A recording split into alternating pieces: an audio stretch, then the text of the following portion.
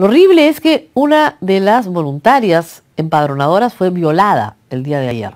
Entró a hacer su trabajo a una casa en Villa El Salvador y un depravado que está plenamente identificado la violó. El sujeto en cuestión está en este momento detenido y el Ministerio de la Mujer está pidiendo, a través de sus abogados, que se le dé prisión preventiva.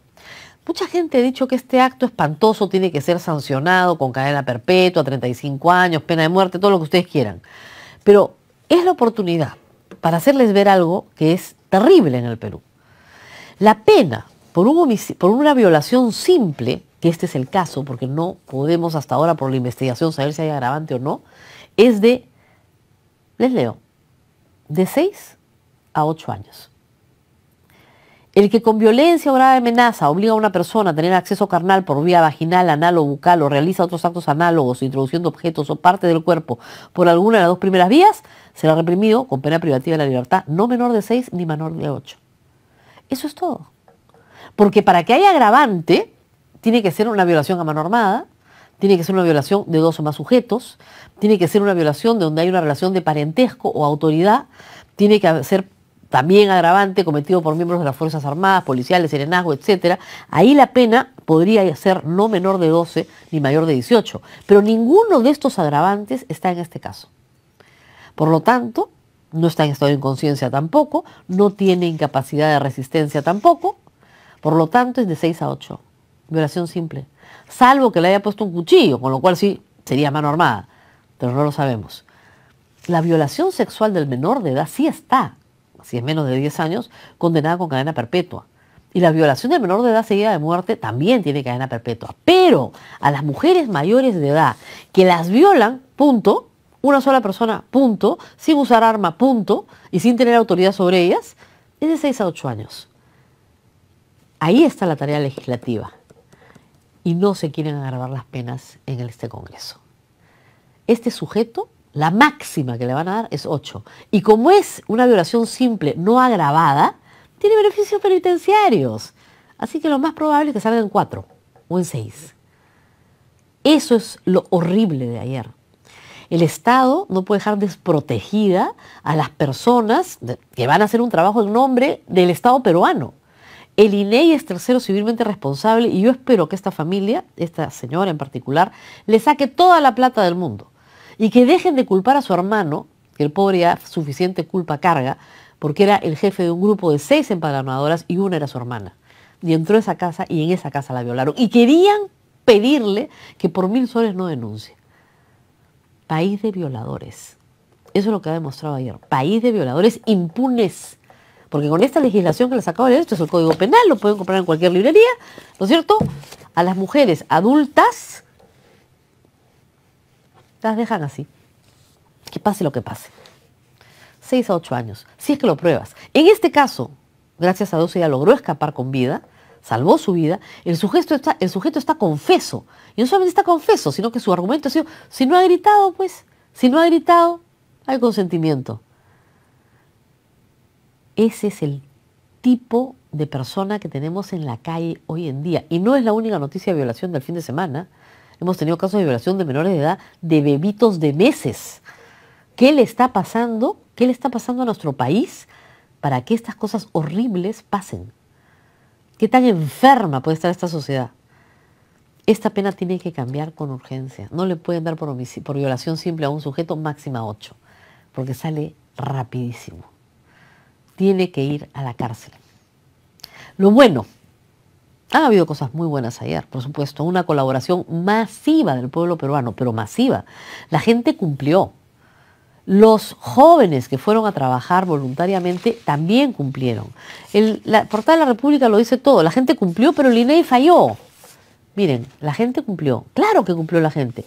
Han esperado por horas de horas a los empadronadores que nunca llegaron. Y acá viene lo feo, la pésima logística del INEI. Pésima es poco. Los jóvenes han tenido que dormir muchos en parques, porque al día siguiente no había transporte y venían de zonas lejanas. Yo vivo en Miraflores, me censaron chicos de San Juan, de San Juan del Urigancho, que habían dormido en el parque del costado, sin comida, sin desayuno, sin almuerzo, sin ningún refrigerio y sin que les paguen los 50 soles. y sin material completo. Han estado censando en algunas zonas de Lima hasta las 10 de la noche. ¿Y saben cuál fue la excusa del jefe Liney? No sabíamos que habían tantos edificios, pues el crecimiento vertical. ¿No hacen trabajo de campo? ¿No van antes, semanas antes? Un edificio no se hace en cinco minutos, pues. No trabajan con las municipalidades, no piden referencia de cuánta gente hay en cada sitio. Es que es increíble que la, logística haya sido tan desastrosa ayer que ha causado que un número significativo de personas se queden sin censar. El señor jefe del al cual no le creo nada, dice que es del 2 al 3% de la población. Yo le puedo mostrar rápidamente que por lo menos deben ser el 25% de la población, por la cantidad de denuncias que yo he recibido. Y dice, ¿sabe lo que dice que tienen que hacer? En un censo voluntario, ¿ah? llamar para que lo censen. A las casas les han puesto stickers de vivienda censada cuando no había nadie. Han puesto vivienda censada cuando no han censado. No hay forma de deshacer eso. ¿Saben qué es más feo también? Que esto ha costado 173 millones de soles para obtener data incompleta. Porque un censo tiene que medir a todos. Esto no es una encuesta que escoge una muestra. Esto es un censo. Tiene que medirlo todo y no lo ha medido todo. Tiene que el, porcentaje de gente que no entra en el centro, pues tiene que ser muy marginal para que funcione. Aquí no, aquí no. 173 millones de soles. Y no solamente eso, sino que parar un día significa que el PBI de ese día, ¿no es cierto?, no se produce. el PBI diario del Perú es 800 millones de dólares. Si usted vive el PBI total del año entre 365 días, son 800 millones de dólares. 800 millones de dólares perdidos por lucro cesante, 173 millones de soles gastados y unos convenios que son nulos, nulos, de pleno derecho. ¿Por qué?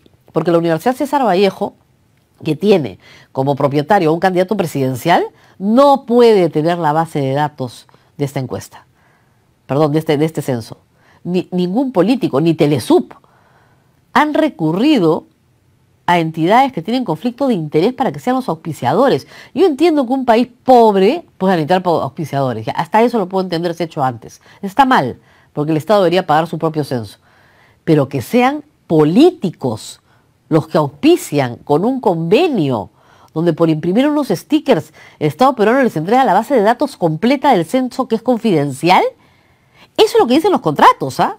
Porque el jefe del INEI se ha contradicho, hecho, no, no, no, solamente información ignominada. Eso no dice el, contrato. El contrato dice la base de datos, o sea, todo. Y hay que tener en claro que eso se llama pactar contra la ley, porque la ley prohíbe dar información confidencial de los censados.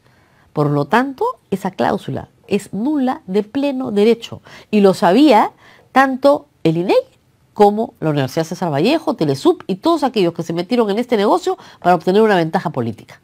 Eso hay que dejarlo clarísimo. Eso más feo no puede ser. Entonces, miren las cosas que han pasado. Tenemos un censo que ha demostrado el civismo y la buena voluntad de la gente. Gente en todo Lima le ha dado de comer a los censadores porque los mandaron con las manos vacías. Gente en todo Lima ha demostrado su buena voluntad al quedarse horas de horas en su casa. Algunos los han censado a las 10 de la noche, porque no había material.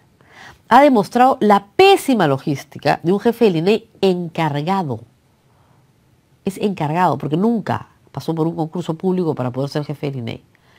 Y lo que puede terminar costando este censo es 173 millones de soles tirados a la basura, más 800 millones de dólares de lucro cesante y la reparación civil que hay que pagarle a una señora violada por culpa del INEI, porque no tomó las medidas de seguridad para soltar escolares de quinto media en casas de desconocidos. Ha sido un milagro que no haya habido más gente violentada el día de ayer. Un milagro. Eso no puede continuar. El jefe del INEI tiene que irse, yo lo dije la semana pasada, por una razón muy simple, porque el jefe del INEI no puede ser un mentiroso. Tiene que ser una persona en la que tienes que creer. Y nadie le cree nada en este momento porque no para de mentir. Tiene que irse porque no puede organizar un censo. En cualquier actividad privada del mundo, alguien pierde esta cantidad de dinero y simplemente lo votan al día siguiente. Así que PCM o el MEF tiene que tomar una decisión sobre la cabeza de un sujeto que es incapaz, incapaz de organizar una logística correcta para un censo y que ha producido todos estos problemas en tan solo 24 horas. Vamos a seguir hablando de esto porque es absolutamente injusto que miles de personas en el Perú se hayan quedado sentadas en su casa esperando ser censadas. Y es absolutamente injusto que se le eche la culpa a los empadronadores porque esos chicos fueron mal capacitados. No es culpa de ellos, es culpa del INEI. Por lo tanto, es culpa del Estado. Y esto va a caer sobre este gobierno que ha hecho malas cosas.